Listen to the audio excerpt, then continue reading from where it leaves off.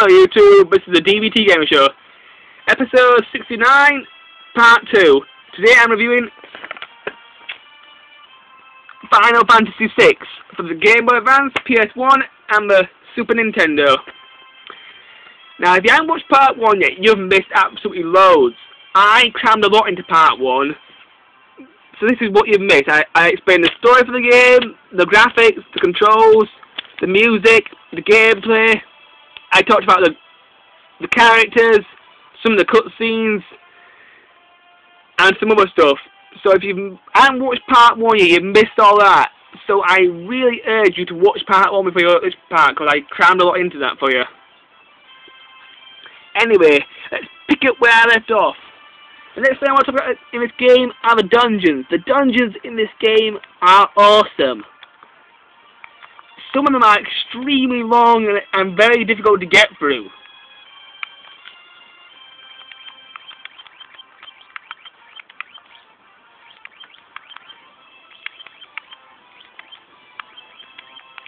Let's start out a party.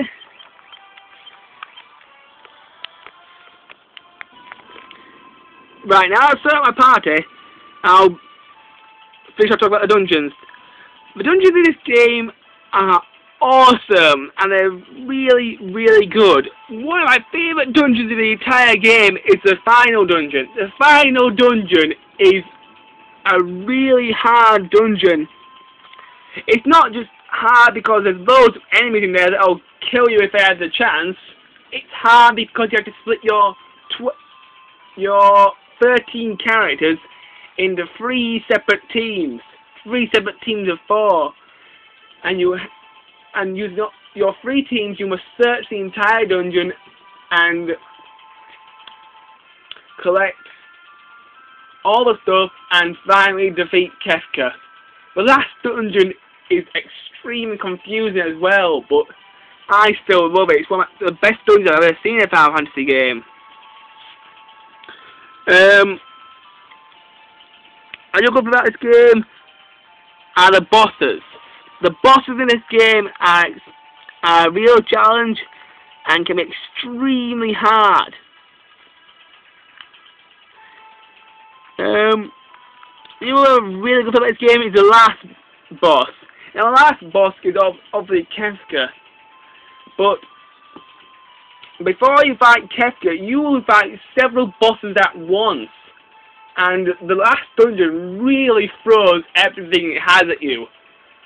So make sure all four of your teams are high enough level and got enough spells because if you haven't, nine times out of ten you'll get massacred by those things. I'm not kidding. These guys don't fuck around. We're going to about this game are spells. Now, to learn spells in this game, it's quite ingenious what they've done. Let me explain it to you. Basically, throughout the game, you will find espers and sometimes these espers will give you their powers willingly to help you after you helping them. Or sometimes you may have to fight them and they'll give up their powers because they're too weak. It depends really. Basically, if I want to learn a certain spell, I pick the esper that I've found, click on it, and it'll come to a menu. This menu will tell us spells that Esper can teach me. The spells that this sentence can teach me are Meltdown and Meteor. And each spell will take a, a certain number of battles to learn. Every battle you do, you will accumulate AP, also known as ability points. And these ability points will eventually add up so you can learn the spells.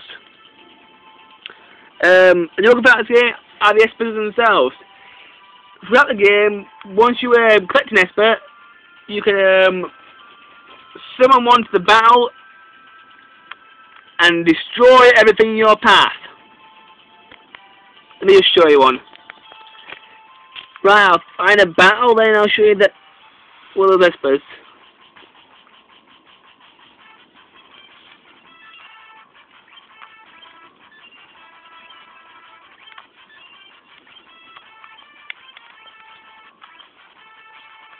Right, here's the legend known as Bahamut. You will recognize him? Now that looks awesome. I know 3D graphics look good, but that is just awesome.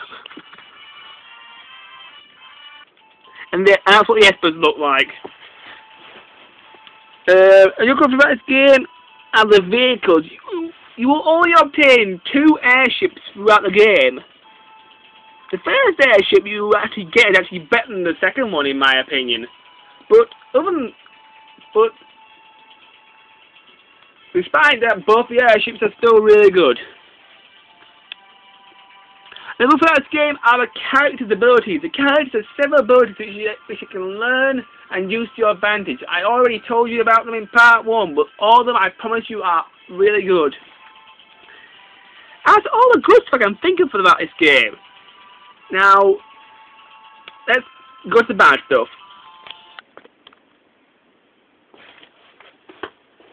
Right, the bad stuff about 506, well, isn't really that much of it, because it's such an awesome game, but the only problems that I found, first things first, the map is tiny. Why in the hell is the map so small on the um on the overworld screen? Basically, you're take this little character and your bottom right corner screen there's this tiny map which tells you where you're going. The map is far too small, it's very difficult to tell you where you tell where you are. And the other problem with the map is why in the hell is it transparent? In other words, see-through. If it was a solid picture, it would be a lot easier to tell what's going on. The other problem with the map is that the markers are also see-through. The marker that tells you where you are is a tiny red dot, and the markers for the towns, kids, and other stuff are all white dots. And it's really difficult to tell what you're doing with this map. I don't see why the game designers couldn't have put a better map in the game. I mean, the Game Boy Advance is more than capable. So the map in the game is not really that useful. You're better off just going on the internet, printing out one of these babies. Then you can alter it, put different markers on, and actually see where you're going for once. Um,